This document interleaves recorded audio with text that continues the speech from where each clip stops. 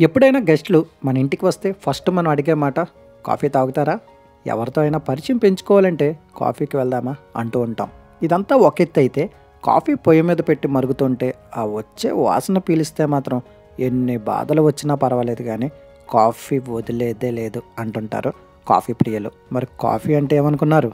Coffee is not a drink it's an emotion ఈరోజు ఆ coffee పుట్టినరోజు అదేనండి ఇంటర్నేషనల్ కాఫీ డే సో ఈ సందర్భంగా కాఫీ పుట్టుక గురించి కాఫీ తాగడం వల్ల కలిగే ప్రయోజనాల గురించి కాఫీ మీద ఉన్న దుష్ప్రచారాల గురించి వరల్డ్ బెస్ట్ కఫెన్ గురించి తెలుసుకుందాం. రండి. ఇంకా మన వీడియోలోకి వెళ్ళే ముందు మీరు కాఫీ ప్రియులైతే ఒక చిన్న లైక్ వేసుకోండి. ఛానల్ని సబ్స్క్రైబ్ చేసి బెల్ ఐకాన్ కొట్టడం మర్చిపోకండి. వీడియో పూర్తిగా చూసి ఈ వీడియో మీద మీ అభిప్రాయాన్ని కామెంట్ చేయండి. ఇంకా రండి. ఒక వేడి వేడి కాఫీ తాగుతూ ఈ వీడియో మొత్తం చూసేద్దాం. ఉదయం లేచేసరికి కొంతమందికి బెడ్ కాఫీ పడితే కానీ దినచర్య ప్రారంభం కాదు. అలా కొన్ని రోజులు కాఫీ తాగేసరికి అది ఒక హ్యాబిట్గా తయారవుతుంది. అది నెలలు సంవత్సరాల తరబడి కొనసాగితే వ్యసనంగా మారుతుంది. ఆ సమయానికి కాఫీ పడకపోతే ఇంకా మనసు కూడా పనిచేయదు. ఏ పని చేయబుద్దేదు మరి అలాంటి కాఫీకి వ్యసనం అవ్వడం అనేది అది లేకపోతే నేను ఉండలేను అనే ఫీలింగ్ కలగడానికి మంచి ఆలోచనలు వచ్చి ఫ్రెష్నెస్ని యాక్టివ్నెస్ని మీకు అందించేది అందులో ఉండే కెఫెన్. ఈ కెఫెన్ అనేది అనేక నష్టాలను కలిగిస్తుందని అందరూ అంటుంటారు. కడుపులో మంటకి ఎసిడిటీకి మంచినీళ్ళని తాగాలి అన్న వాంఛన పోగొట్టడానికి ఆకలిని చంపేయడానికి నిద్రని దూరం చేయడానికి కెఫెన్ ఎక్కువ మోతాదులో తీసుకోవడం కారణం అని అందరూ అపోహపడుతూ ఉంటారు. అయితే ఈ కఫెన్ని ఎక్కువ మోతాదులో తీసుకుంటే ఈ పైన చెప్పినవన్నీ జరగచ్చేమో కానీ రోజులో ఒకటి లేక రెండు అంటే hundred or two hundred ML coffee అనేది మనకి ఎంతో మేలు చేస్తుందనే విషయాన్ని ముందుగా మనం తెలుసుకోవాలి. సరే ముందుగా కాఫీ ఎక్కడ ఎలా పుట్టిందో తెలుసుకొని వీడియో చివరిలో కాఫీ వలన కలిగే లాభాలు తెలుసుకుందాం. అసలు కాఫీ ఎలా పుట్టిందంటే ఖాలిద్ అనే ఒక గొర్రెల కాపరి రోజులోనే గొర్రెలను మేపేందుకు కొండ మీదకు వెళ్ళాడంటండి. అక్కడ అతనికి ఒక చోట ఒక చిన్న చెట్టు ఎర్రటి పండ్లు కనిపించాయి. గొర్రెలు వాటిని కూడా నమిలి మింగేశాయి. వాటిని తిన్నాక అవి ఉత్సాహంగా ఉత్తేజంగా మారడం. చూసిన తర్వాత ఈ ఖలీద్ కూడా ఆ ఎర్రని పండ్లను నమిలి తిన్నాడు. ఆ తర్వాత అతనిలోని కూడా ఏదో తెలియని శక్తి పుంజుకున్నట్టు అనిపించిందట. వెంటనే ఆ ఎర్రని పండ్లను ఏరి ఓ చిన్న మూట కట్టుకొని తమ మతగురువు వద్దకి వెళ్ళాడు. కానీ ఆ మతగురువు వాటిని పనికిమాలినవి అంటూ పక్కనున్న మంటలో పడేశాడు. నిప్పులో కాలిన ఆ పండ్లు మరింత సువాసనను వెదజల్లాయంట.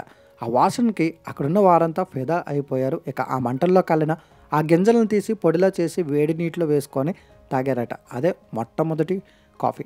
ఆ పానీయం వాళ్ళకి చాలా బాగా నచ్చిందంట. అప్పటి నుంచి ఖాళీద్ గొర్రెలు మేపడంతో పాటు కాఫీ పానీయాన్ని తయారు చేసి అమ్మడం కూడా మొదలుపెట్టాడు. ఇది కాఫీ పుట్టుక గురించి నేషనల్ కాఫీ అసోసియేషన్ చెప్పే కథ. అయితే ఇది ఒట్టి కథే కాదండి దీనికి ఆధారాలు కూడా ఉన్నాయి. ఆ గొర్రెల కాపరైన ఖాళీద్ కాఫీ పుట్టినిల్లు అయిన ఇథియోఫియాకు చెందినవాడు అక్కడి నుంచి ఇతర దేశాలకు ప్రయాణం కట్టిన కాఫీ ఇప్పుడు డెబ్బై ఐదు దేశాల్లో ప్రధాన వాణిజ్య పంటగా ఉంది. ఇలా మన దేశం విషయానికి వస్తే మన దేశానికి కాఫీ గింజలు తొలిసారి చేరింది పదహారవ శతాబ్దంలో అని చెప్తుంది కాఫీ బోర్డు. సూఫీ సన్యాసి బాబా బొడాన్ ఏడు కాఫీ గింజల్ని అరేబియా నుంచి మన దేశానికి తీసుకొచ్చారని. ఆ గింజల్ని కర్ణాటకలోని చిక్ మంగళూరులోని తన ఆశ్రమంలో నాటారని అక్కడ నుండే మిగిలిన రాష్ట్రాలకు కూడా కాఫీ విస్తరించిందని కాఫీ బోర్డు చెప్తుంది.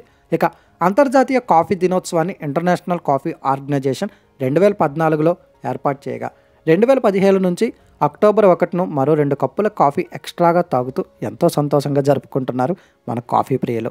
ఇదండి కాఫీ పూర్వగాథ మరి కాఫీ ప్రజెంటర్ గాథ ఏమిటి అంటారా? పెట్రోల్ లేకుండా వెహికల్ నడుస్తుంది కానీ కాఫీ లేకుండా మనిషి మాత్రం ఉండలేడండి. అలా అని కాఫీ వ్యసనం అనుకున్నారు. అస్సలు కాదు. నిజానికి కాఫీ ఒక దివ్య ఔషధం. దీనివల్ల కలిగే ప్రయోజనాలు వింటే మీరు నిజంగా ఆశ్చర్యపోతారు. కానీ ఎంత మంచిదైనా దీనిని కూడా మోతాదు మించకుండా తాగాలి. తాజా అధ్యయనం ప్రకారం కాఫీ మితంగా ఉంటే రోజుకి రెండు కప్పులు మించకుండా తాగితే ఇప్పుడు నేను చెప్పే పది రకాల ప్రయోజనాలు ఉన్నాయంట.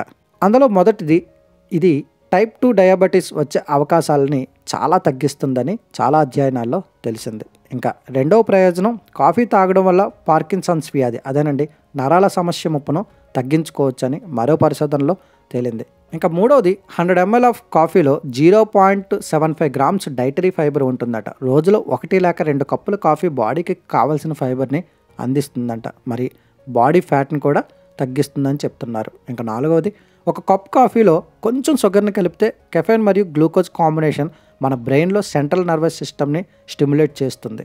దీనివల్ల హార్ట్ బీట్ పెరిగి బీపీ కూడా పెరుగుతుంది. బాడీలో ఎక్స్ట్రా ఎనర్జీ వస్తుంది. సో మీ పని మీద అటెన్షన్ కాన్సన్ట్రేషన్ కూడా పెంచుతుందన్నమాట.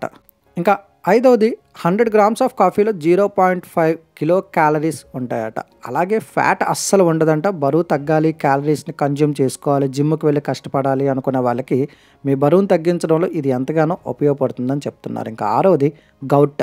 ఒక రకమైన ఎముకలకు సంబంధించిన వ్యాధి ఇది. ఇది బాడీలో యూరిక్ యాసిడ్ లెవెల్ని తగ్గించడం వలన బాడీ నొప్పులు అది కీళ్ళ నొప్పులు ఇలాంటివి కూడా తగ్గుతాయని చెప్తున్నారు. ఇంకా ఏడో విషయానికి వస్తే one or two cup of coffee. Me body వెయిట్ని తగ్గించడంలో మీ వ్యాయామం చేసి వెయిట్ తగ్గడం కన్నా సెవెంటీన్ పర్సెంట్ తొందరగా మీ బాడీ వెయిట్ని తగ్గిస్తుందంట. ఇంకా ఎనిమిదవ ప్రయోజనం కాఫీలో ఉండే యాంటీ ఆక్సిడెంట్లు కాలియాను రక్షించడంలో రొమ్ము క్యాన్సర్ని నివారించడంలో ముందుంటుందని చెప్తున్నారు. ఇంకా తొమ్మిదవ ప్రయోజనం కాఫీ తాగిన వెంటనే మెదడు చాలా ఉత్తేజంగా తయారవుతుందంట. డిప్రెషన్ తగ్గి శరీరం అంతా కూడా ఉత్సాహంగా తయారవుతుందని చెప్తున్నారు. ఇంకా పదవది మన ఎనర్జీని బూస్ట్ చేసే కెఫైన్ ఇమ్యూన్ సిస్టమ్ని స్ట్రాంగ్గా చేసి హెల్తీగా చేస్తుంది అనేసి చాలా అధ్యయనాల్లో తెలిసింది. సో ఫ్రెండ్స్ ఇన్ని ప్రయోజనాలు కలిగించే ఈ కాఫీ అనేది టెస్టుల్లోనే కాకుండా హెల్త్లో కూడా దీన్ని మించిన డ్రింక్ లేదనే విషయం మీకు ఈ వీడియో ద్వారా అర్థమైంది అనుకుంటున్నా ఈ కాఫీ అనేది మనకి ఉల్లాసాన్ని ఉత్తేజాన్ని ఇవ్వడంతో పాటు కాఫీ పండించే రైతులకు ఉపాధిని కూడా అందిస్తున్నాయి.